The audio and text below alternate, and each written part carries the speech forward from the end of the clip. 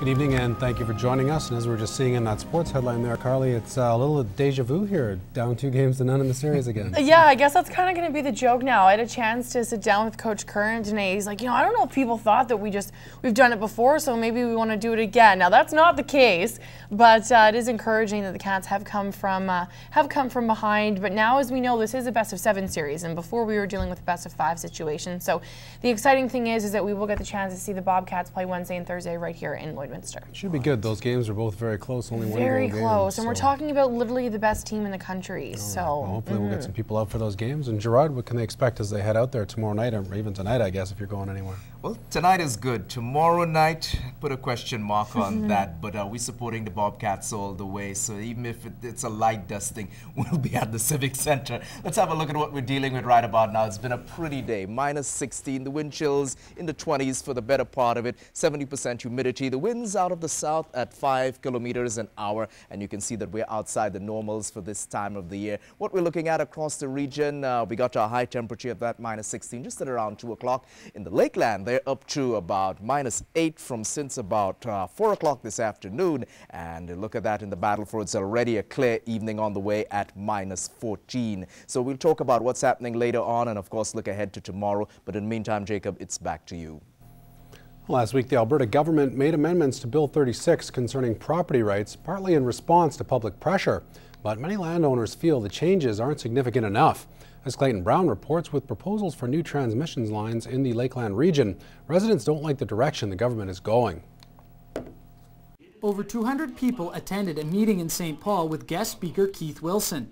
The St. Albert lawyer has been voicing his concerns over certain bills, which he feels take away property owners' rights. Now, with the possibility of new transmission lines in the area, concerns are growing. They are perfectly prepared to pay for a stable, reliable grid. They want to err on the side of the light staying on than going out. They've assessed the grid.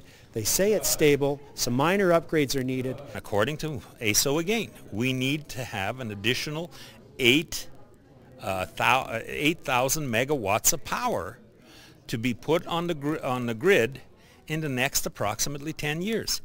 Under Bill 50, multiple routes for one new line will be proposed, and property owners say that's unfair. It's dividing and conquering. It, it makes people look at their line and say, oh my God, I cannot have this next to me and my grandkids. Maybe if we do certain things, we can push it over on the other people. It's wrong. Wilson says the bill also removes the AUC's main purpose, approving utility companies' proposed transmission lines through public hearings, and hands that decision over to cabinet members, something Minister Daniluk disagrees with. This is still a regulated utility. And so they have to come before the Alberta Utilities Commission for both the, uh, both the building and the operating. With the proposals of new transmission lines throughout the province, some predict the cost will skyrocket, having a major effect on the Alberta economy. The experts that have looked at these lines that the governments have approved have concluded that they will triple industrial power rates.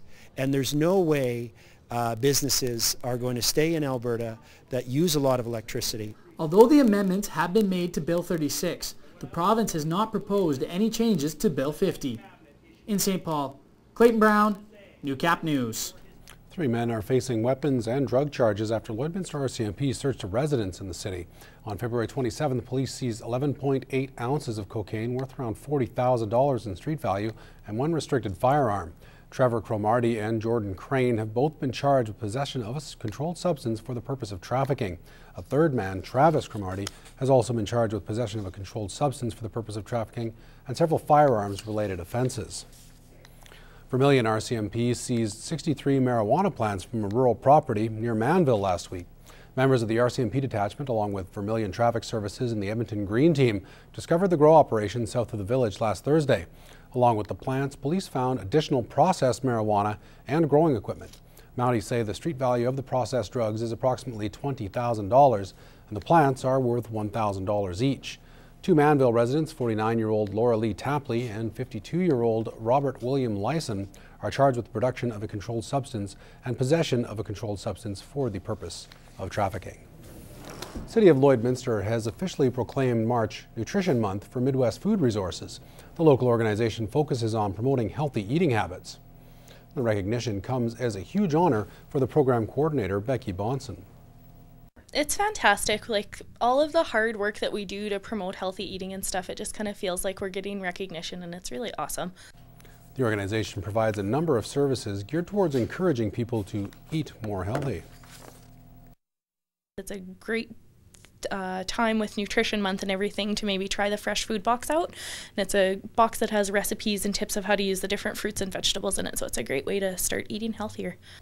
Midwest Food Resources just launched a new awareness campaign for Nutrition Month where Border City residents can show their support by purchasing a green ribbon ribbon campaign just to raise awareness about Nutrition Month and healthy eating and also to raise awareness about Midwest food resources. So we're kicking off our green ribbon campaign tomorrow. We have Sobeys and Ernie's on board to sell the ribbons for us. So we're selling them for a dollar and we'll be selling them from tomorrow right until the end of March. Finishing touches are being added to Lakeland College in Lloydminster's first Child Development Center. After nine months of construction, only a few housekeeping duties remain and the plan is to have everything in place within the next six months. Kathy Lee has the details. After struggling through a number of babysitters, Kara Johnston jumped on the chance to enroll her four-year-old in Lakeland's Child Development Center. Childcare is a big issue in Lloydminster, so I think that it's wonderful the, the college is seeing that need for our students, for our staff, and they can and for the community, and that they're able to meet it in such a fantastic environment. What's even better is the center is located right where she works. It's going to be a big convenience um, just to be able to have one less stop during the day for pickup or for drop off, and also to know that we're in a quality environment with quality care. The project follows a number of inquiries by students and staff for the need of a child development center on campus. When you look at going back to school, particularly parents, uh, and if you're a single parent, the number one concern is often childcare. So this facility will be able to uh, assist with some of those needs. The facility is not only a place for childcare, but also is a learning center for Lakeland College students taking courses like nursing or psychology. The whole building is equipped with video cameras and large windows that serve as observation tools during their lab time. We can come in here now in the lab and I bring my students down we can actually observe students uh, at the various ages and how they interact and how they develop and how they learn and how they communicate and, and so uh, it'll be a nice addition to the textbook studies we've been doing in class. The facility houses up to 40 children from 12 months to 5 years old and is designed to be completely accessible for children with disabilities. We will be open from the last week of August when school starts right to the end of June. Uh, it'll be a 10-month operation. The Child Development Center is open to everyone in the community and there are currently 12 children registered. For those interested to sign their child up, contact Lakeland College. Kathy Lee, Newcap News. Coming up after our first break, we'll see how two Midwest women are making their way in jobs traditionally held by men. It's part of our coverage of the 100th Annual International Women's Day.